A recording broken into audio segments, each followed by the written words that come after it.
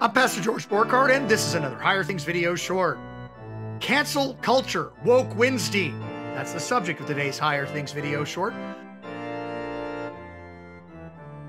Like, subscribe, ring the bell, get the app, donate. If you love our videos, if you love us passing on the faith to the next generation, like our videos, subscribe to our YouTube channel, ring the bell for notifications, get the app. It's available on iTunes, Amazon, Google Play, Roku, Apple TV. You can get it all, all our content, all that good Christian youth content in the palm of your hand and donate. Link in the description. Your tax deductible gift keeps higher things passing the faith, the faith of Jesus, the salvation achieved by Jesus on the cross and delivered to us in the word keeps us a rolling. And our kids need this gospel in these dark times. Erica Jacoby is the executive director of Higher Things. She is also a former public school teacher, which makes her our resident expert on today's culture. How you doing, Erica?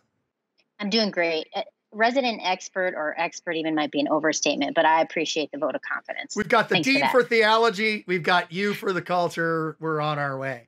Call out culture, Erica. We've done a lot on the cancel culture or the call out culture and the cancel culture, the same thing.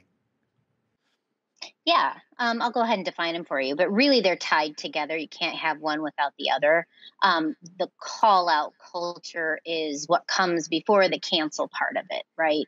So um, I'm going to give a definition that was uh, used recently in a poll um, done in July 2020, actually, of American registered voters, and that they they in that poll they define cancel culture as the practice of withdrawing support or canceling public figures and companies after they have done or said something considered objectionable or offensive.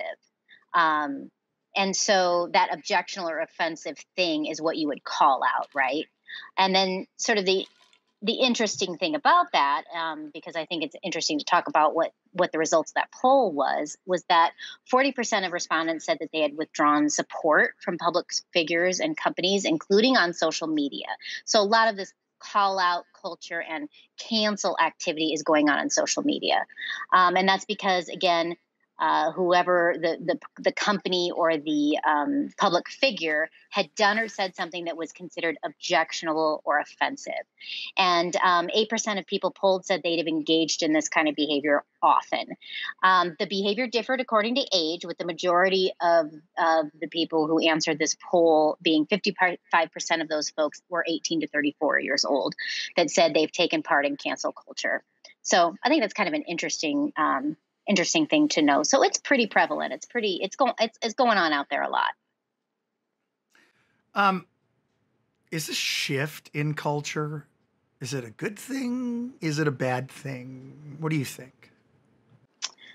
Well, certainly uh I think we're starting to see that it's having some negative effects. I think calling out uh, idealistically speaking, something that is not good or not right is not a it's not necessarily a bad thing to do um, but that's that's that's not exactly what's happening most of the time um, it's actually keeping people from discussing their differences um, there have even been reports uh, on campuses on um, on high school campuses as well and also um, secondary campuses, university campuses, that it's causing mental stress in students. It, it, makes it harder for students to hold or even consider unorthodox ideas or views for fear of being shamed on social media.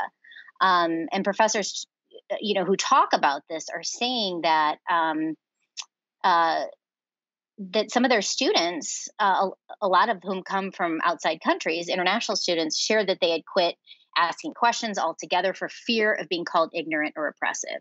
So it's sort of shutting down the um, discourse or the sharing of ideas and sort of the um, weighing of ideas, which is what you want. You want to develop critical thinking skills uh, in students. So that that's kind of concerning. Uh, there's also a book that's being written, uh, or that has been written, that I would recommend if folks want to delve into this farther. It's called "The Coddling of the American Mind," and the author of that um, is, is, pretty well known. He's been quoted in several articles recently. Jonathan Haidt.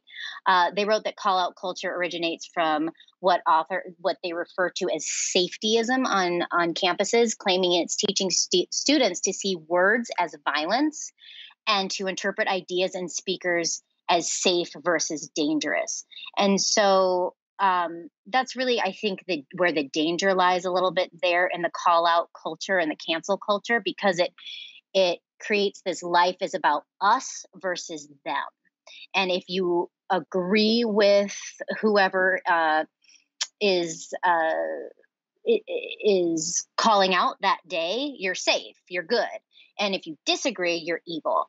Um, and so, my question for you, actually, now I'm going to pass the baton to you, is what is a Christian to do in an environment when that moral compass gauge is set to cancel whatever the group doesn't like that day? What do we do as Christians about this? Because um, I know I've seen articles, we've discussed them offline about. Um, Christian students getting getting really just ripped apart on social media when they say something like they love God.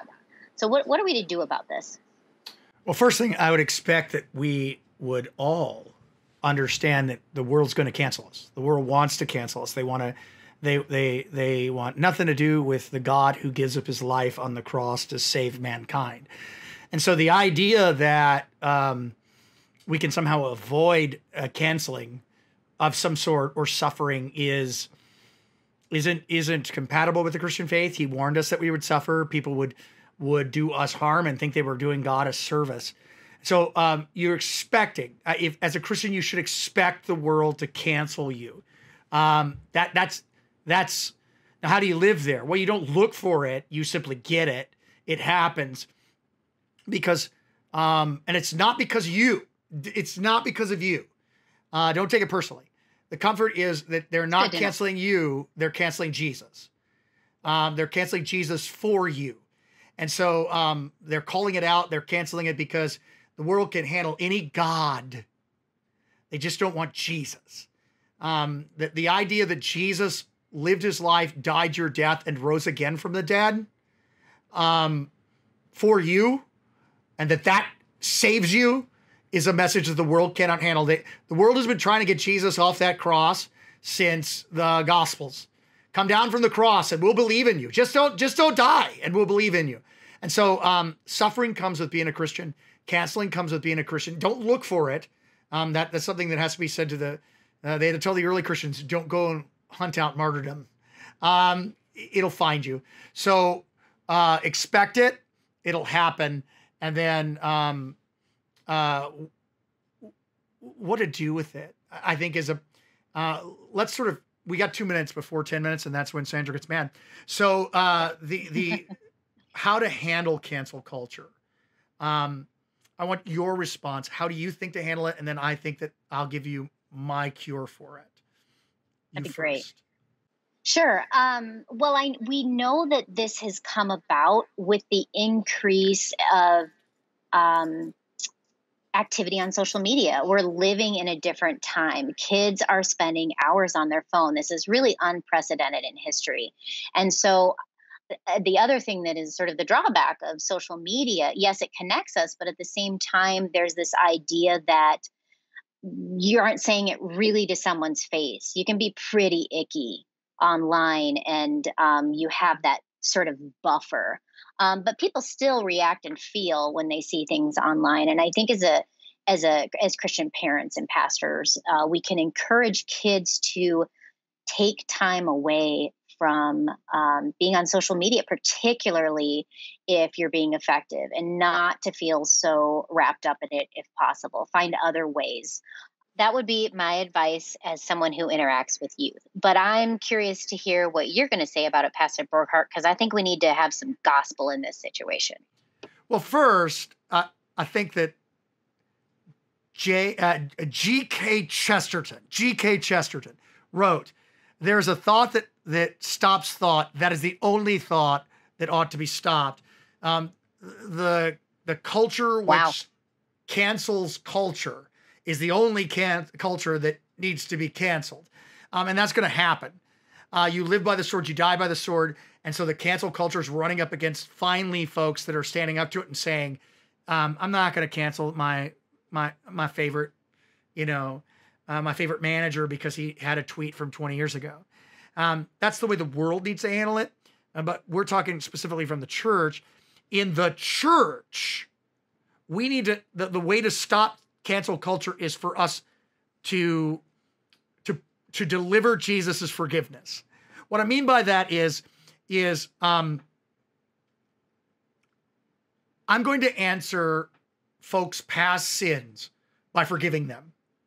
If someone has an awful thing that they've done, uh, if Jacoby had a tweet from 20 years ago, and I found that as before the before Twitter, but you know what I'm saying, a picture of you mm-hmm. 20 years ago. What I'm going to do is I'm going to forgive it. I'm going to make I'm going to be intentional in forgiving it because that's my faith. So what we got to do as Christians is invoke our faith because our faith is anti-cancel culture. Christ mm-hmm. came to forgive sins. The only person that's canceled in the New Testament is Jesus. He dies so that we would live. He's canceled so that we would live. And so, what I'm going to do is make this a battle of religion. I'm going to invoke my Christian faith and say, I'm just going to forgive. I'm going to forgive you because that's what my faith is. And then the fight is no longer between a culture and a person.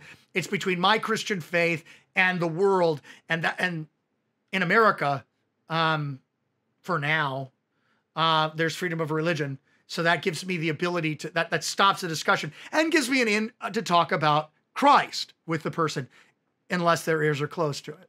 Okay. Erica Jacoby is the executive director of Higher Things. She is the face that runs the place, known as Higher Things. Erica, thank you for being on. Thanks for having me. Great discussion today. Christianity, Christian faith, your Christian faith is going to be canceled. You are going to be canceled. And the answer is not to, to be afraid of it. No. The answer is to understand where the, the cancel is coming from. They're canceling Jesus. They're not canceling you. And the answer to that is the forgiveness of sins achieved by Jesus on the cross and given in your baptism. I'm Pastor George Borghardt, and this has been another Woke Wednesday Higher Things video short.